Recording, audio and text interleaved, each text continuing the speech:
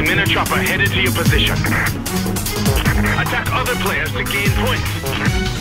If you get hit by other players, you will lose points.